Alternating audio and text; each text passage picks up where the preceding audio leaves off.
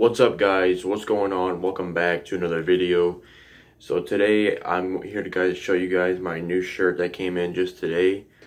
Um, I ordered a Denver Broncos shirt. Um, yeah, many weeks ago I ordered it, but I got the, I actually ordered the wrong size, so I had to return it. And finally, the the real one came in today because it was delayed because in my area there was some snow, obviously. But so let's go ahead and open this thing up and see how this baby looks. Let's see how it looks. Hopefully better than the last one I got. Oh, let's go ahead and try it. I'm gonna try it on over here. This one looks better already. This one, yeah, this one looks way better. Hell yeah. Let me go put it on. I'm gonna go try it on over here.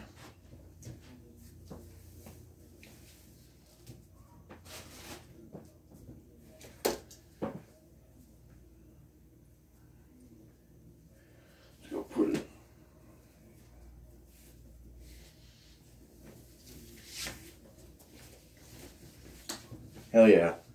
This one's a lot better. Let's go. This one looks way better. got the Denver Broncos logo. I love the orange Nike. I love this orange. Orange is my freaking favorite color out there. So, you know, I had to get the orange Broncos shirt.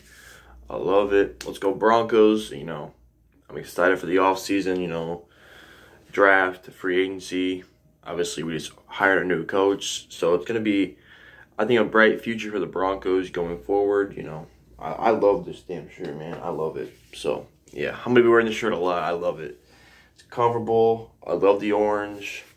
Yeah, this one's a lot better than the other one I got. Because, I yeah, I'm glad this one actually fits me. Because the last one did not fit me at all. So I had to freaking return it. And then all that shit. Oh, it it it was a big mess. I'm just happy this one's here and it fits me well. So there you go, guys. Thanks you guys for watching.